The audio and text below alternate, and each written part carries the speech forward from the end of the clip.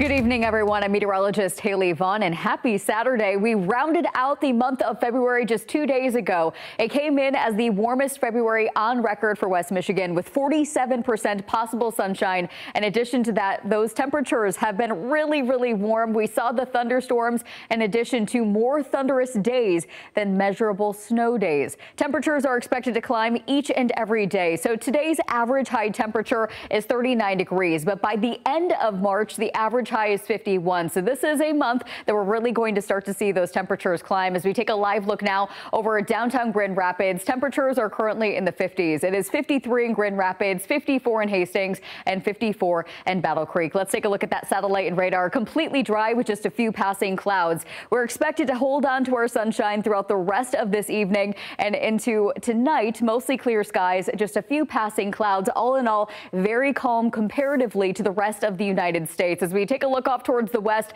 red flag warnings, high wind warnings, and blizzard warnings are actually in effect. Here in West Michigan, we do have a small craft advisory that is going to be in effect from 4 a.m. on Sunday until 10 a.m. on Monday due to strong winds from the south, generating wave heights between 4 to 7 feet. Breaking down our weather headlines and where we go from here. Morning fog will be possible on Sunday morning. By Monday, temperatures make a run towards 70 degrees with a chance of showers and thunderstorms late and rain lasting into early Tuesday. Temperatures tonight will be in the upper 30s to the lower 40s throughout the day on Sunday. Plan on some morning fog, but sunshine will take over as temperatures will be climbing to the 60s. A high of 65 in Grand Rapids, 68 in Kalamazoo, and 65 in Muskegon. Just a stamp of approval to get outside and enjoy our Sunday. Tonight, plan on mostly clear skies, patchy fog early in the morning tomorrow, and then eventually mostly sunny skies for the remainder of the day. Our next chance of rain is going to be knocking on our doorstep late Monday night, eventually because of a passing system allowing for the chance of scattered showers and a few rumbles of thunder. That rain will eventually move out by Tuesday, but we could see some light rain linger into early Tuesday afternoon.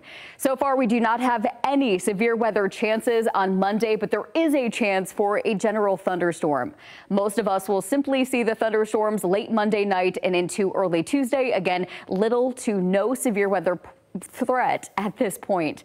Temperatures will be the warmest of the week on Monday, eventually bringing in cooler air for the rest of the week. However, it is still going to be above average. Temperatures are going to be in the 50s for next week, so we really got to get outside and enjoy the heat. A high of 70 on Monday with scattered showers and thunderstorms, a chance of rain on Tuesday with a high of 57 and more sunshine on Wednesday and Thursday with temperatures in the 50s.